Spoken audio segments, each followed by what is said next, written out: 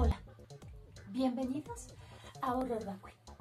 El día de hoy presentamos a una artista inglés, aunque escocés de corazón, quien es una de las figuras más influyentes del panorama artístico contemporáneo. Su obra resulta ser incómoda de ver debido a que aborda la temática de la enfermedad, la vejez, las lesiones, así como cuerpos afectados por el tiempo. Estos son aprovechados por el maestro para tratar temas profundos como la existencia y otros planteamientos filosóficos y políticos. En la crudeza y obscuridad de los personajes nos recuerda al Gran Goya, pero también en el juego de espejos y perspectivas al fantástico Velázquez. Esta visión descarnada del deterioro físico se la debe al genial Francis Bacon. Y a pesar de esas influencias, su trabajo recoge de forma espléndida y meticulosa las cenizas de estos tres grandes maestros. Sin más preámbulos, hoy en Horror Vacui presentamos al gran artista escocés Ken Curry. Disfruten.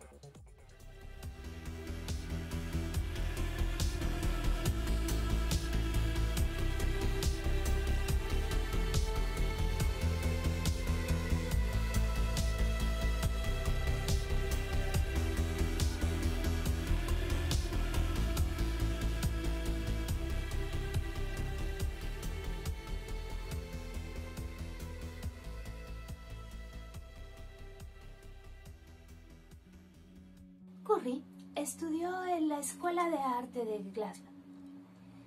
Usó el ambiente propio de su comunidad con este carácter industrial como tema de sus principales trabajos.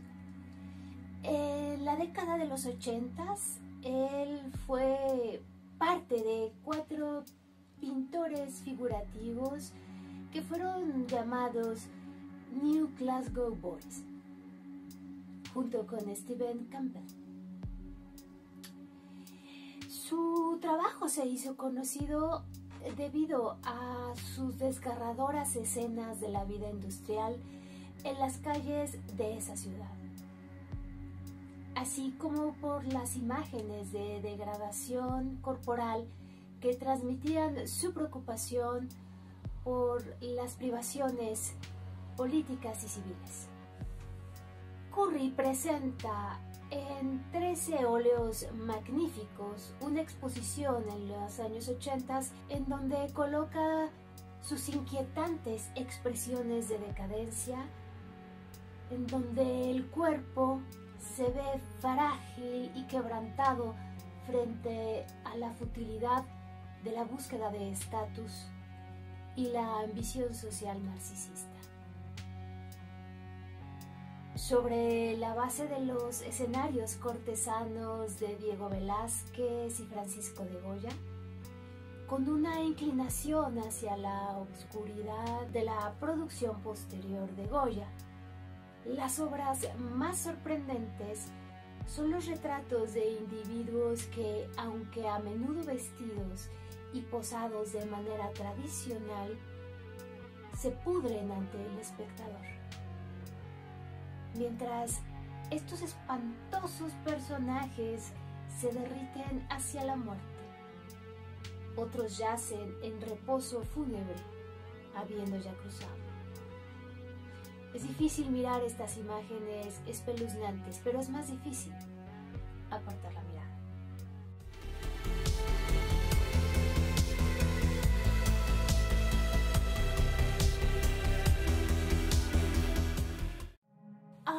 mirada. principios de la década de los noventas, Curry se vio muy afectado por los acontecimientos políticos y humanitarios en Europa del Este. Comenzó a representar cuerpos en descomposición y dañados como una respuesta a lo que él consideraba la enfermedad de la sociedad contemporánea.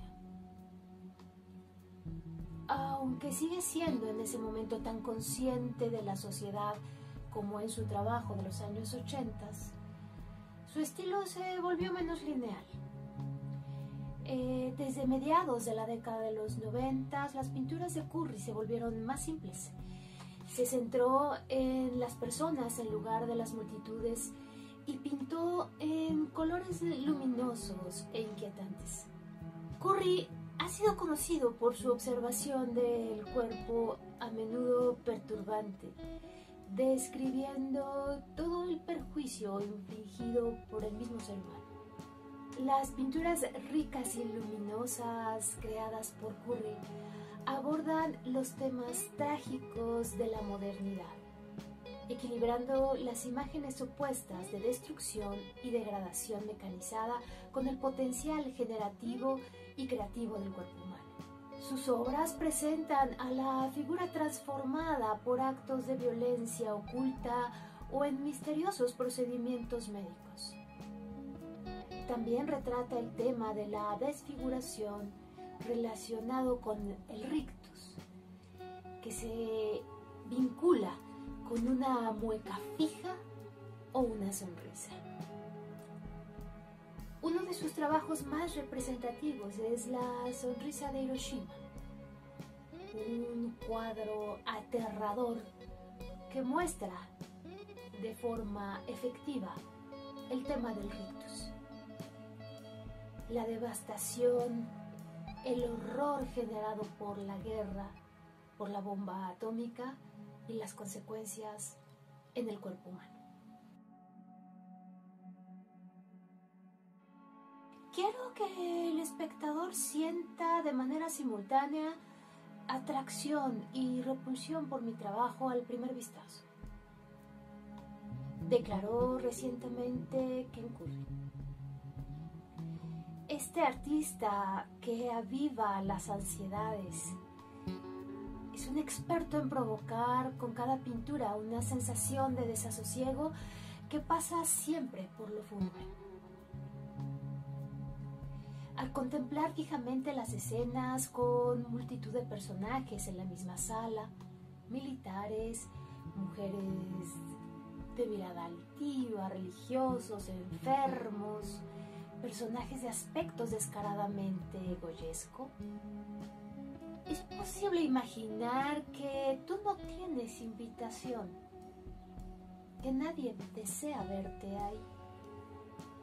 Pero como indican los gestos de petulancia de estos personajes, eso tampoco supone el menor de los problemas.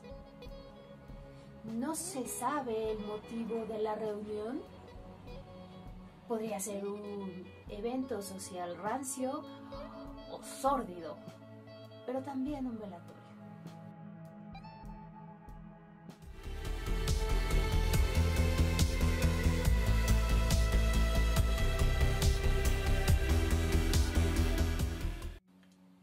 La enfermedad, la vejez, las heridas le permiten abordar una oscuridad que necesariamente puede atacar a cualquiera.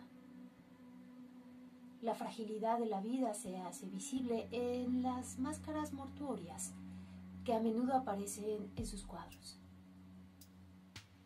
En la insignificancia de un cuerpo arrugado. El hombre calvo que representa a menudo es una versión desmejorada y mayor de sí mismo. Una especie de recordatorio del futuro personal. Las pinturas de Curry también representan ritos misteriosos y prácticas casi quirúrgicas, tipificando las inquietantes representaciones de la figura humana del artista residente de Glasgow. Su trabajo expresa una respuesta visceral a la brutalidad y el sufrimiento en la sociedad que le ha tocado vivir. El tríptico monumental Down in the Goods, que aparece en Red Ground, retrata un mundo kafkiano, incorporando la horrible visión de un monstruo ciervo escarabajo en medio de escenas de palizas y autoflagelación. Los fondos teatrales proporcionan espacios poco profundos para que la acción se desarrolle, fusionándose entre sí a la manera de una disolución cinematográfica. Los fondos en forma de escenario también presentan cualidades ambiguas y oníricas a las imágenes de figuras envueltas en pinturas como Red Ground, y el retrato de una enfermera con guantes rojos de aspecto siniestro en Go. Otras pinturas muestran representaciones imaginativas de la vida marina perseguida en su localidad. Los cadáveres fantasmales de Black Baked Gull y Baskin Shark están impregnados de una sensación de amenaza subyacente. Mientras que el cuerpo extendido de la gaviota recuerda la imagen arquetípica de la crucifixión, las entrañas enroscadas del tiburón se relacionan con la tortuosa tradición del destripamiento, registrada en relatos como el martirio de San Telmo. Curry encuentra inspiración en las tradiciones que han sobrevivido durante generaciones en áreas remotas de Escocia. Bird People retrata, por ejemplo, la controvertida cosecha de polluelos de alcatraces por los cazadores de Guga en la isla de Sula, en las Hébridas. En esta imagen brutal, varios de los cazadores parecen usar máscaras faciales quirúrgicas, un recordatorio de los trabajos anteriores de Curry, que incorporan referencias a las imágenes de Henry Tonks, de soldados heridos de la Primera Guerra Mundial.